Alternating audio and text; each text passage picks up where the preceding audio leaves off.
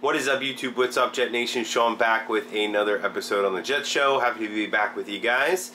Uh, today I want to talk a little bit about the Denzel Mims uh, news requesting a trade and what I think about it. Uh, but before we get into that, if you guys could hit that subscribe button if you haven't already. Uh, hit that like button, uh, thumbs up, notification bell so you can get notified when my next video drops. Uh, also, leave a comment down below. Love to hear from you guys. Love the interaction and everything like that. Love to hear what you guys think of my videos. So, uh, I want to talk a little bit about the Denzel Mims trade request. Obviously, the other day his agent came out, um, requested that the Jets uh, trade him after saying like he's done everything right. Um, he's done everything the team's asked him for, and he hasn't really been given an opportunity um, to play a lot with the first team, um, or even practice with the first team a lot.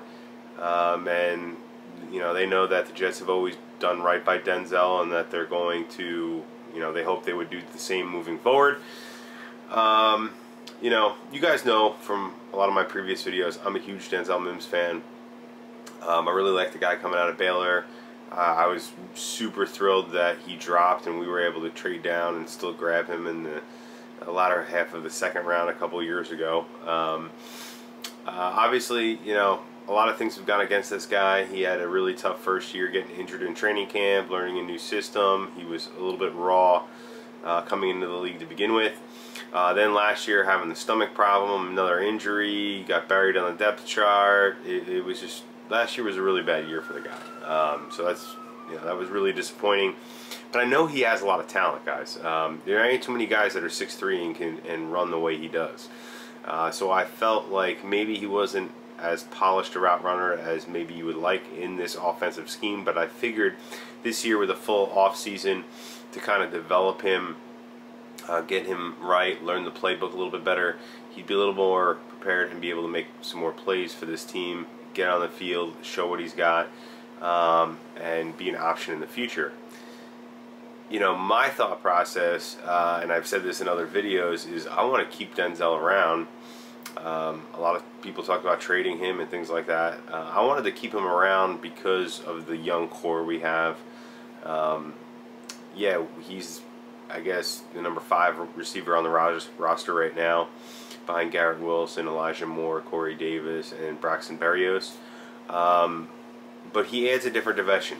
Um, he's got that height-speed combination, which I don't really feel that the other guys have. Um, and, you know, Corey Davis only has one more year on his contract after this year.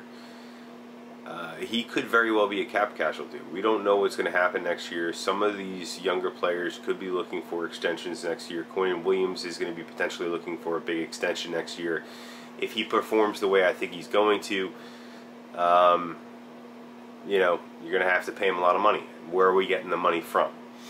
You know, another guy, Carl Lawson's got one year left on his deal, but I think Carl Lawson could be so good this year, um, even coming off the injury. He looks great in training camp. That it's going to be hard to cut a guy like that. But at the wide receiver position, when we have Elijah Moore, let's say, you know, I think Garrett Wilson's going to be phenomenal. Well, let's say he slowly grows as a player this year and looks like he can be a number one. Him and Elijah Moore paired together are, are great one-two punch at the wide receiver position.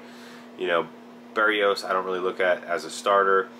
Um, if we have to cut then or trade Corey Davis at that point, Denzel Mims can step in and be that um, you know third wide receiver, um, number three wide receiver. And obviously not number three in terms of playing in the slot, but you move Elijah Moore into the slot. You know, on, on three receiver sets, bring uh, Denzel in on the outside.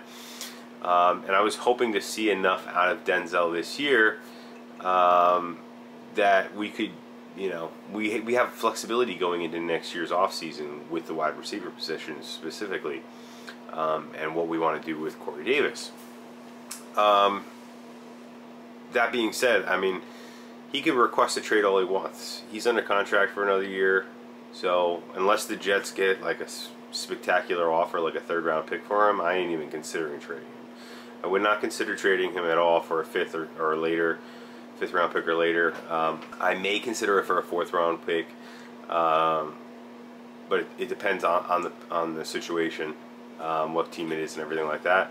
Um, but it would have to probably be a third. So um, that's my thought process. I mean, in terms of a couple teams that may be looking to trade for him, maybe the Bears. Uh, that's the first team to me that comes to mind. I think the Jaguars would would probably consider trading for him. They could use another wide receiver. I've heard the Cowboys floated around out there. I, I, I don't see that really at all. Um, just I, I, I, you know I think that's kind of smoke and mirrors there. Uh, maybe Denzel's agent or something like that. But you know, let me know what you guys think in the comments. Would you trade him? Would you keep him? Would you cut him? Um, you know, what do you guys think? And and if you were going to trade him, who do you think the most likely team is that would step in and be a trade partner for the Jets? Uh, because we all know Joe Douglas has won every trade he's made since he's been Jets GM. Phenomenal value back in trades. He's been fleecing these teams. You know, does anybody want to trade with them and get fleeced? Because um, they might. So that's another thing to consider. Let me know what you guys think in the comments, and I'll see you in the next one.